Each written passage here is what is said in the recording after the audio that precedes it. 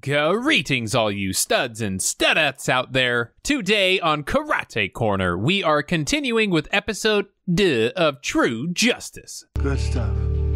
Cool. Well, uh, don't don't be too excited, there, uh, Stevie pal. You don't always come out looking the best in my videos, so maybe maybe just hang back on that emotion. But let's head on out to Seattle, the city in the Northwest, with uh, settings that, I don't know, look an awful lot like Louisiana to me. And where most of the show was actually filmed in Vancouver, which, uh, it's like the Seattle of Canada. Well, with, with a lot more syrup, I suppose. Well, okay, let's, uh, let's get to this, because this is Red Eye Reviews.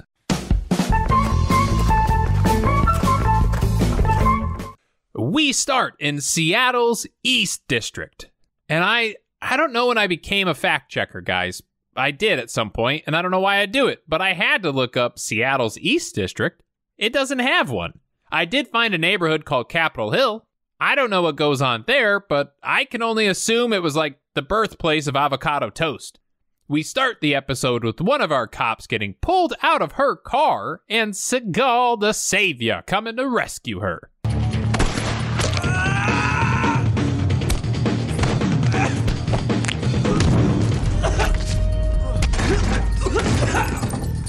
Ah, don't get the bike involved, Steve. Your days of property damage should be behind you. What did the bike ever do to you? Police. You're under arrest. Well, I think you just gave him a good court case. I know I talk out of my ass like a lot, so feel free to correct me here. But if he doesn't identify himself as a cop right off the bat and he just like starts attacking this dude, albeit justified, it's justified. You know, he was assaulting that lady. But if he doesn't identify himself, can't that dude just say he fought back because he didn't know Seagal was a cop? I think he's got a case there, but we head on over to a trailer park that we saw in episode one. You know, that park with all the New Orleans drug dealers in it. But there were too many actors on the payroll, so they're all dead now.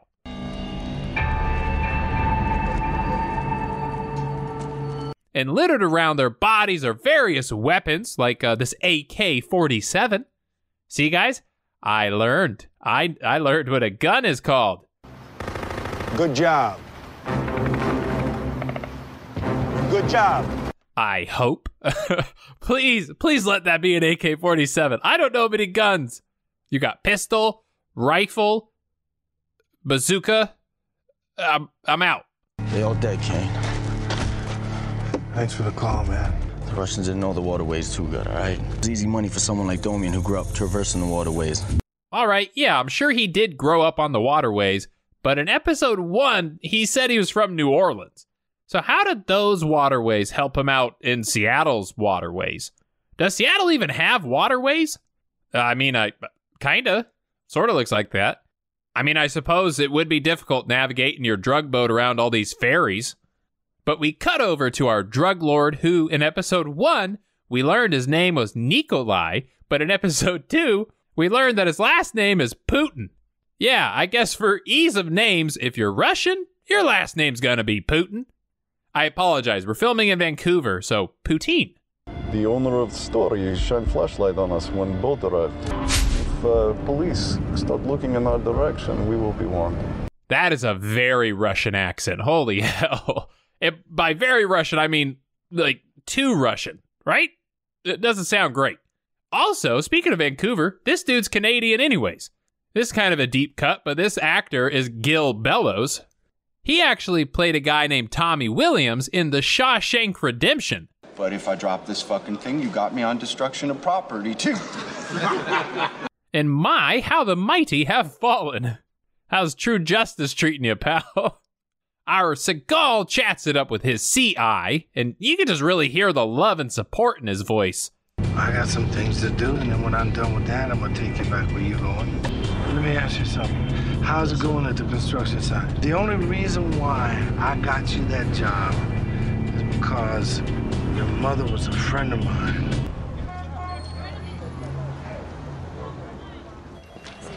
That's a thing, yeah. Uh, also, w- whatever about Seagal, how about that B roll? This just looks like the cameraman was on his way to lunch and somebody else was like, hey man, Did you shoot that B roll for episode two yet? Um, yeah, hold on. Okay, sign one, the another sign. Those are places, right? We're done.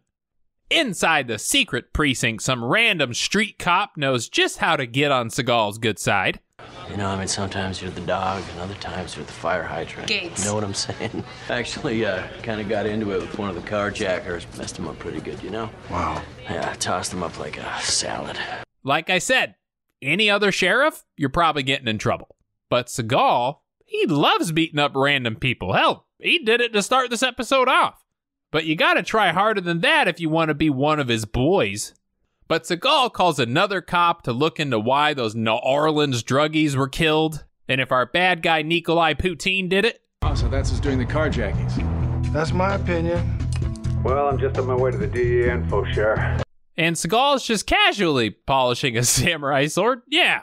Need you to find the people responsible for those murders. I think we're gonna crack it wide open. Just give me a minute, man. I'll get him. Yeah. Yeah, I'll help. But like, give, give me a minute. I gotta go hone my craft.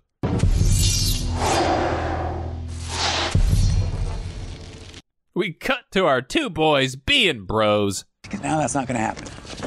You know, if we take this, they're gonna be pissed. Oh man, you really worried about the mullet heads at Narco? Come on, nice. All right, it's nice. So what?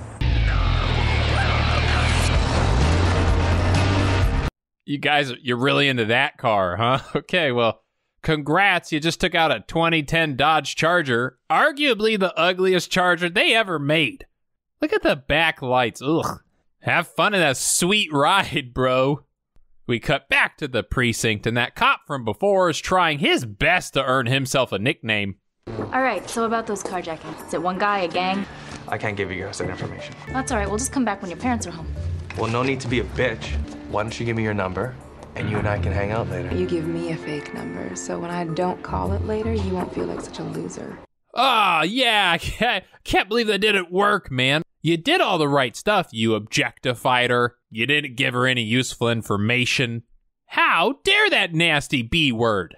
But they now believe that our bad guy Poutine is not only the big bad drug boss, but he's responsible for killing all them shrimp loving New Orleans boys. Man, I don't care nothing about the kitty. I care about the bad guys. I'll share the kitty and the intel.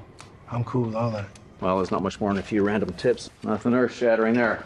All right, man. I got some new intel from DEA. Nothing earth shattering. The women on the force want to prove themselves to the boys, and they step up and offer to run an undercover op. I'm kind of old fashioned, so if y'all want to do that, I'll let you do it with the caveat that I got a pair of eyes on the inside watching y'all. Hey, I'm old fashioned, so I'll allow it.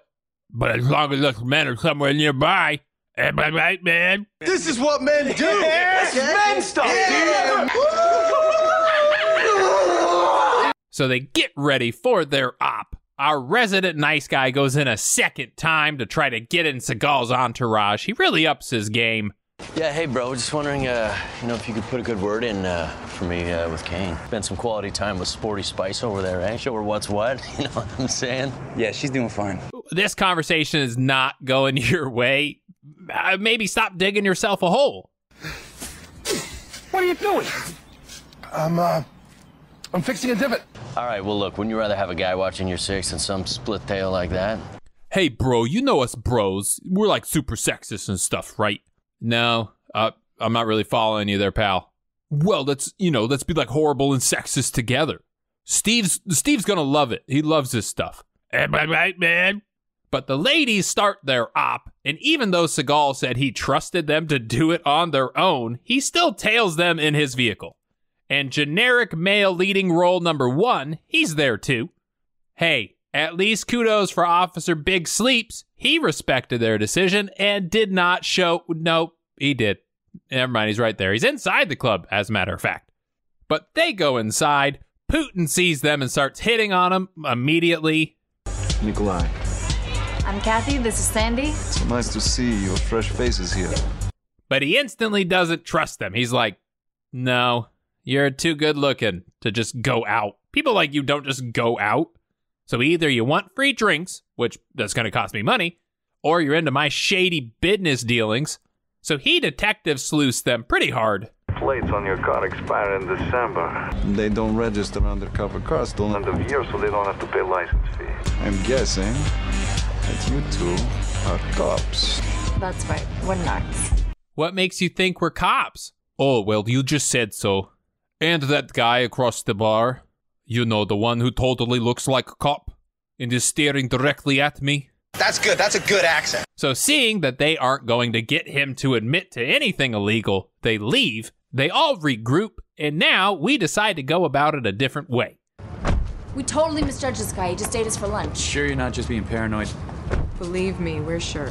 We know that some of Putin's business associates are carjackers.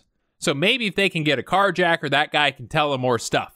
So they decide to give the ladies one more chance to prove themselves because the op at the club failed, which I want to point out it only failed because that guy who is clearly a cop was giving off big cop vibes like the whole time. But sure, blame the ladies. So she gets in a car, she starts driving around trying to tempt bad guys into taking her vehicle. We go. They're taking a pass. I wonder why. Uh, maybe it's got something to do with the loaded pistol you're holding and asking people to come up to your window. I I don't know, it's just a hunch. However, a little later that night, we get the scene from the start of the episode. Put it more, You're on parole, so uh, you just double down. Tell me about Nikolai Putin. I might be able to make some time go bye bye. What do you think? How'd the new girl do? She did good, huh? Oh, yeah, no, she did. She did great. Sitting in her car, not paying attention and getting attacked by random. Really, that's some top notch police work there. But they take this guy in, they ask him some questions about Putin, and it still sounds kind of weird. hey, if there are any spies on my channel, I am not talking about Putin, okay? I'm talking about Putin. It's not my fault they have the same last name. Anyways, he tells them about a shipment of drugs coming into the docks where Putin will be to collect. On their way out the door, Officer Nice Guy is desperate. He's like, Seagal, buddy, how much ruder do I have to be towards women for you to notice me? Hey, Chief, uh, can I have a quick word? Yeah. She's uh, real looker. What, uh, would you break her heart? With a body like that, cares about her heart, right? You know what I'm saying? Do you like when I talk like that, Stevie? Huh? You want to go have a 16 candles moment, just you and me? Let's go. That went down a weird path. I'm sorry about that. They all head out on the mission. We see that cop who was attacked. She fell asleep in her cruiser. Somebody drew on her forehead. That's embarrassing. But they see Putin and his gang. They throw a cartoon smoke grenade into the dockhouse. Everyone's confused, right?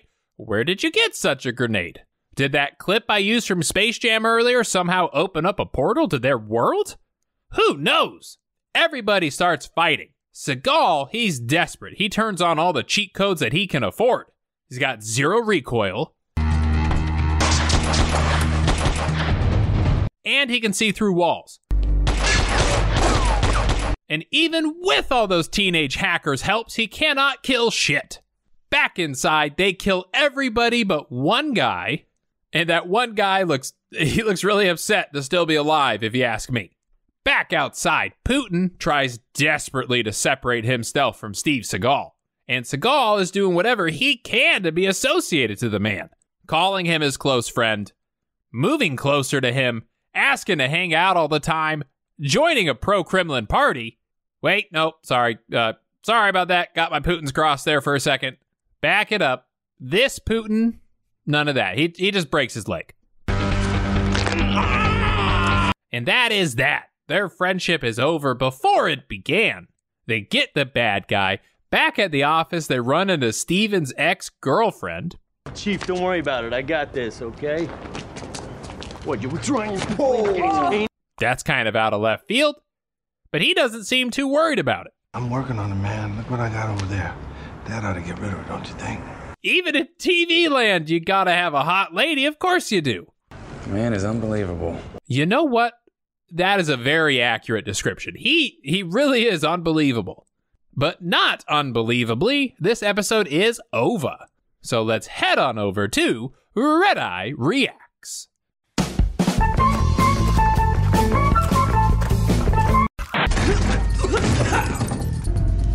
Let's do this. Let's do this? Do what? Continue to get your ass beat? Come on, man, just give me a concussion. And now, some of my favorite Seagal quotes from this episode. I appreciate the ride and everything, but this really wasn't the direction I was in. Do I look like the kind of guy that cares about the direction you're heading in, man? How do you say ass in Russian? I mean, if that's a problem, where can I get me one? Man, you don't want none of this, man. You don't never want a problem like that. See, my daddy used to say, even an old blind rooster hit a piece of corn once in a while. Sarah, you smell that? Uh, yeah. Oh, that's a scent every woman knows. The smell of a little boy jealous of his daddy. That's a weird boast. Are, are you saying every woman knows the smell of a jealous little boy? Lady, I would not be super proud of that superpower. We did get a new name from a mid-level drug dealer, Nikolai Putin. oh my god. I see I wasn't making it up. Have have you guys ever heard him pronounce Vladimir Putin's name for real? Check this out.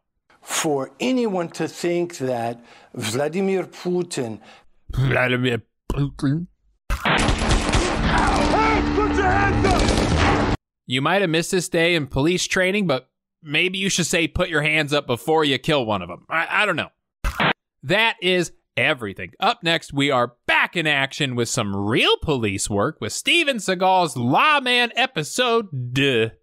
And I cannot wait, so thank you so much for watching. If you liked the video, please subscribe to the channel, hit the like button, leave some comments. I would like to give a shout out to my patrons over on the Patreon page. That list is growing. All of you guys are amazing. So, from the old faces to the new faces, thank you, each and every one of you.